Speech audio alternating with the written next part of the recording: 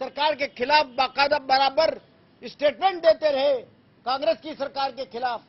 बावजूद deputy chief minister होते हुए और प्रदेश कांग्रेस के अध्यक्ष होते हुए, आज उनको चीफ मिनिस्टर बनाने के लिए यहाँ पर सेक्रेटरी सेक्रेटरी जनरल इंचार्ज आ गए सेक्रेटरी जनरल इंचार्ज पर मेरा चार्ज है कि वो पक्षपातपूर्ण तरीके से यहाँ के यहाँ के विधायकों से बात कर रहे थे और उनको इन दिनों में, कई दिनों से लगातार ये सूचनाएँ आ रही थी कि वो सचिन पायलट साहब के पक्ष में जो है, प्रचार करने के लिए जो है, कहा करते थे।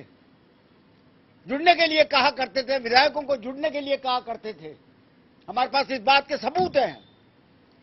तो हम सोनिया गांधी के सिपाही हैं। सोनिया गांधी की हर हुक्म को हमने 50 साल तक माना, मेरी 50 साल की राजनीति हो गई। इन 50 सालों में एक बार भी अनुशासनहीनता कब चार्ज मेरे पे नहीं लगा।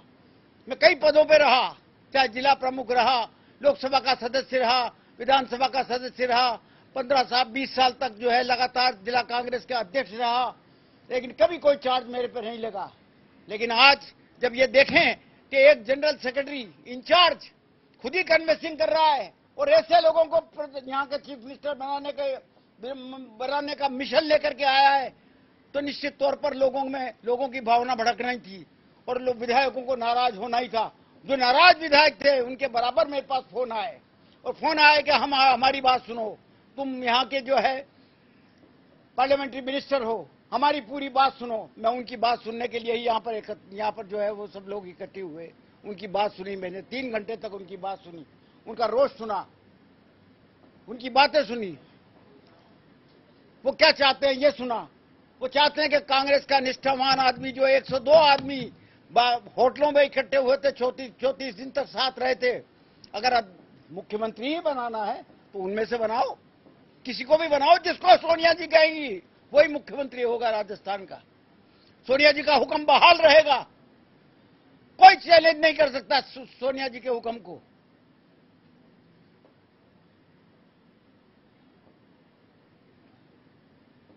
गद्दारी करने वालों को पुरस्कार दिया जावे, ये यहाँ का विधायक कभी बर्दाश्त नहीं करेगा। दैट्स ऑल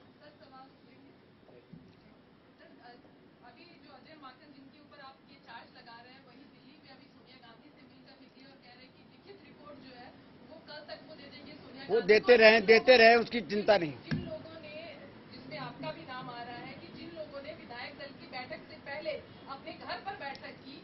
वो अनुशासनहीनता है और उन पर कार्रवाई और नोटिस जारी होगा पार्टी से बाहर भी उनके विचार से होगा जो कुछ भी है विधायकों की बैठक कोई ऑर्गेनाइज बैठक नहीं थी।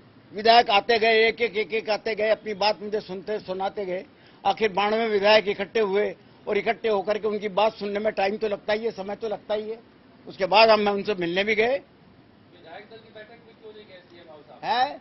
सीएम हाउस में विधायक दल की बैठक में क्यों नहीं गए?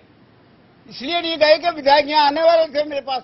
टेलीफोन आ रहे थे कि पहले हमारी बात सुनो उसके बाद में बैठक में चलेंगे। वो कह रहे कि अलग अलग हम नहीं नहीं ऐसा नहीं है। अलग अलग राय सुनना चाहते हैं। नहीं नहीं नहीं नहीं अलग अलग राय कभी नहीं कहा उन्होंने। उन्होंने ये कहा कि एक लाइन का प्रस्ताव पास करने के लिए आए हम सर अगर आप पर कार्रवाई होती है आपको नोटिस दिया जाता है आपके खिलाफ कार्रवाई होती है तो क्या हाइपोथेटिकल सवाल मत पूछिए। आने दीजिए कुछ जो कुछ होगा तो दिख जाएगा आगे। आपने कहा आपने कहा कि मैं पार्टी का अनुशासित। सिपाही रहा हूँ और रहूँगा।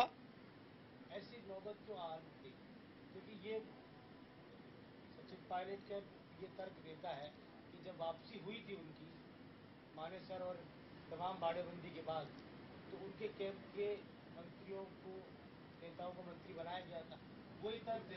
वो हुक्म भी हाईकमान का था जिसको कि मुख्यमंत्री जी ने स्वीकार किया था। हाईकमान का सोच ये था कि ठीक है गलती हुई है इनसे लेकिन इनको एडजस्ट करो मुख्यमंत्री जी ने एडजस्ट किया उनको। तो रमेश मीणा भी तो मीणा भी आए हुए थे सर। तो रमेश मीणा भी उन कतारों में से एक आए हुए थे जो आप गिरफ़्तार कर रहे हैं। कौन? रमेश मीणा। रमेश मीणा भी आए हुए थे। कल उन्होंने दस्तखत किया इस्तीफा दिया उन्होंने।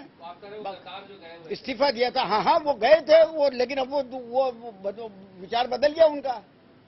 क्या बात क्या बात विचार विचार बदलते रहते हैं। विचार तो उनका भी बदला है ना। पहले तो वो कांग्रेस की सरकार गिराना चाहते थे बाद में कांग्रेस सरकार के फेवर में आ गए विधानसभा में।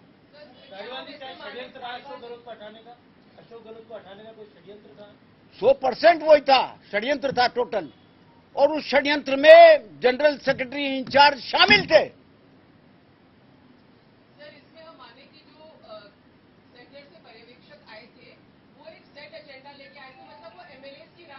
मतलब मैं दूस, मैं दूसरों के लिए नहीं कहता मैं सिर्फ़ जनरल सेक्रेटरी इंचार्ज पे चार्ज लगा रहा हूँ।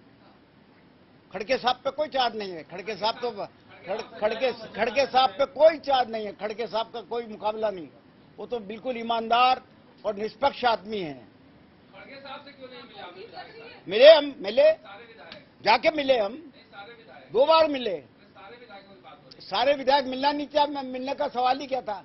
वो तो उठ के चले गए थे वहाँ से। वहाँ पहुँचे कितने से थे? बीस आदमी भी नहीं पहुँचे पूरे। धारीवाल साहब आज मुख्यमंत्री जब मिलने गए हैं होटल में तो माकन साहब उनसे नहीं मिले हैं। खड़गे साहब से मुलाकात हुई। मुझे पता नहीं इस बारे में। मेरी जानकारी में नहीं है। इस्तीफा दे दिया आगे क्या होगा? अब सबने इस्तीफा दे रखा आगे क्या होगा? देखिए हम मंत्रियों का आज भी मेरे पास कई मंत्री आए वो, वो कई विधायक आए कि चल करके स्पीकर साहब से कहिए कि हमारा इस्तीफा मंजूर करें। मैंने कहा अभी ठहरिए ठहरिए। स्पीकर साहब को भी जो है आप सोच विचार कर लेने दीजिए। सरकार गिराना चाहते हैं। कौन? आप वो क्या चाहते हैं? वो तो ये चाहते हैं कि ये सरकार बनी रहे। जो गिराना चाहते थे उनको पुरस्कार न मिले लेकिन सर आप आरोप लगा मैं बात कह चुका आपकी। मैं आपके सारे सवालों का जवाब दे चुका हूँ। हैं तो क्या कह रहे हैं? आरोप लगा रहे हैं लगा रहा हूँ लगा रहा हूँ। लगा रहा हूँ नहीं नहीं सवाल आगे सर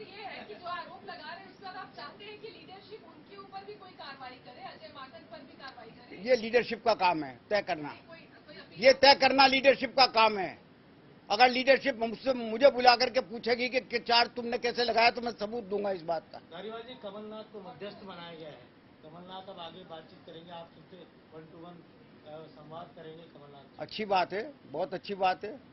क्योंकि किया गया आप, आप समझ ही जाओ आखिर मान माकन साहब को हटाने का क्या कारण रहा? तो क्या सीएम साहब अब राष्ट्रीय अध्यक्ष बनने जा रहे हैं या नहीं जा रहे हैं? इसका असर पड़ेगा। मैं नहीं कह सकता ये फैसला उनको करना है क्या पार्टी का आलाकमान की सीएम साहब से बात हुई है पार्टी का आला कमान जो कहेगा सीएम हमेशा से करते आए और करते रहेंगे। क्या लग रहा है पर्दे के पीछे अशोक गहलोत पर आरोप लगाए जा रहे हैं? और अशोक गहलोत अशोक गहलोत पे किसी ने अशोक गहलोत पे किसी ने आरोप नहीं लगा आ- आरोप किसी ने भी आरोप नहीं लगाया मैंने तो ऐसा सुना नहीं आरोप लगा वो कह रहे हैं कि अशोक गहलोत जो आप जो मीटिंग की अशोक गहलोत को पता नहीं था आप इस मीटिंग को लेकर। उनको उनको पता नहीं था। उनसे कोई कंसल्टेशन नहीं था हमारा। जी एक आरोप भी लग रहा है कि एक युवा नेता जो मुख्यमंत्री का सबसे प्रबल दावेदार है उसको पीछे रखने के लिए आप सब जो पुराने नेता है वो एक हो गए हैं। ये क्या बात हुई? नया और पुराना क्या होता है? मतलब विधायक विधायक है। जी जो बातें आप लोगों ने यहाँ मीटिंग करके की वो आप की बैठक में जाकर सकते थे मजबूती के साथ? वो रास्ता आपने क्यों नहीं ये छोड़िए आप ये तो ये ये तय करना तो हमारा काम था सर लेकिन आपकी गलती के लिए सुना है कि अशोक गहलोत ने माफ़ी मांगी है खड़गे साहब से जाकर कि कल विधायक नहीं पहुँचे। आप ही कह रहे हैं मैं तो आप आपके मुँह से सुन रहा हूँ ऐसी बात। गलत आप कह रहे बिल्कुल गलत। आप आप पहले भी संसदीय कार्य मंत्री थे अभी भी हैं उससे पहले भी रहे हैं। तो सीएलपी की मीटिंग में नहीं जाना और पैरेलल मीटिंग बुलाना पैरेलल मीटिंग बुलाई किसने? मेरे पास तो लगातार फ़ोन आते रहे कि हम आ रहे हैं हम आ रहे हैं हम आ रहे हैं हमारी बात सुनो हमारी बात सुनो। आठ बजे तक मेरे पास लगातार टेलीफोन आते रहे, क्योंकि अचानक मीटिंग बुलाएगी सीएलपी की। परसों रात को दस बजे डिसाइड हुआ कि सीएलपी की मीटिंग होगी। कोई गाँव था, कोई कहाँ था, कोई कहाँ था, कोई कहाँ था। आखिर आने में वक्त लगा उसको। जैसे जैसे वो आते गए